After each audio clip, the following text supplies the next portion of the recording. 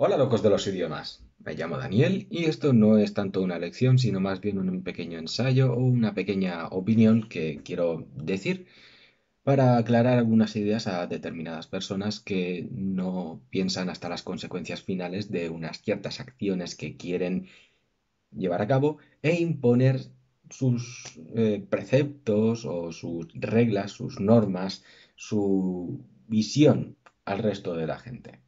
Como habréis adivinado por el título del vídeo, esto es tan sencillo como prohibir palabras no conduce a ninguna parte. A ninguna parte.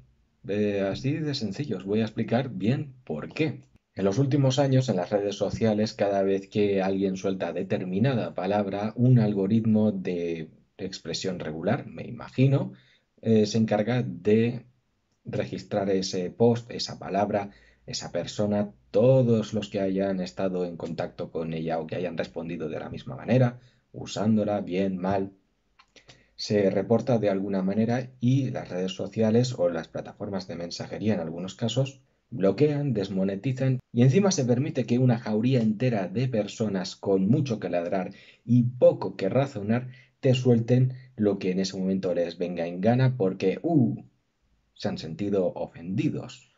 Las últimas palabras que me vienen a la mente son Karen o Sim, que bueno, para los propósitos de este vídeo no son usadas para insultar a nadie, ni tampoco para usar a nadie de ejemplo, pero en su momento surgieron como palabras válidas en un diccionario online no oficial para designar determinados comportamientos nocivos o mal vistos de algunas personas. Personas que por una parte se tienen en tan alta estima, son tan narcisistas y se tienen en tan alto grado de estatus social que usan este para imponerse o imponer el mismo sobre los demás. La otra palabra más bien designa a alguien que daría todo por la otra persona, aun cuando esto es en detrimento de su propia persona. Pues bien, determinados grupos de personas o departamentos de diferentes eh,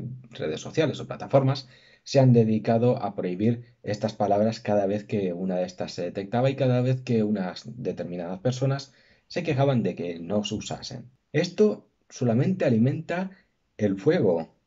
A ver si lo entendéis. Toda esta gente que ha estado usando estas palabras, que han surgido en un trasfondo caótico, pero de forma legítima, casi en convergencia de pensamiento, no van a dejar de usarlas porque una u otra plataforma les diga no podéis usarlas. Es más bien lo contrario, cuando se prohíben estas palabras lo que va a, a provocar esta gente va a ser que se produzca un movimiento de parodia de todas estas palabras. Van a surgir cientos, a lo mejor miles de alternativas de la misma palabra que no se detectarían por una expresión regular, que una expresión regular es una forma de combinar diferentes cadenas de texto para encontrar diferentes posibilidades. Una cosa de programación que está bastante, está bastante guapa, yo la uso para mis cosas, pero esto es lo que surgiría. Si no dices Karen, pues a lo mejor dices Koren,